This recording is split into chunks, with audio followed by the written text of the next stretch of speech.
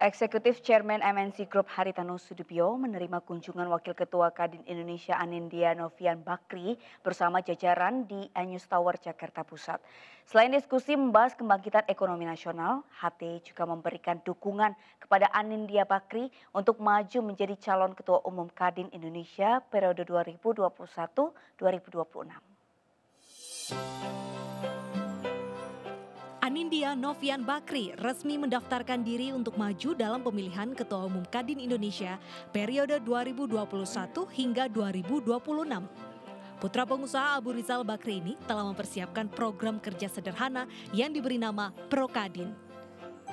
Program ini mendapat dukungan dari Eksekutif Chairman MNC Group Haritanu Sudibyo karena sangat bermanfaat bagi anggota dan mampu membawa Kadin Indonesia menjadi mitra strategis pemerintah. Karena Kadin itu sebagai wadah wakil daripada dunia usaha, sebagai counterpart daripada pemerintah. Dalam regulasi, dalam kebijakan-kebijakan, dalam hal yang membuat uh, dunia usaha itu tentunya kondusif, bukan hanya di menengah ke atas, tapi UMKM ya menengah ke bawah. Karena kita ingin melihat juga menengah ke bawah ini juga tumbuh.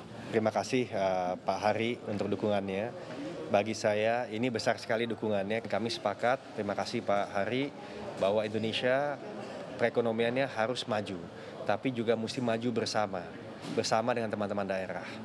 Kami merasa juga kita semua mesti naik kelas, yang besar bisa semakin besar, tapi yang kecil menjadi menengah, menengah menjadi besar.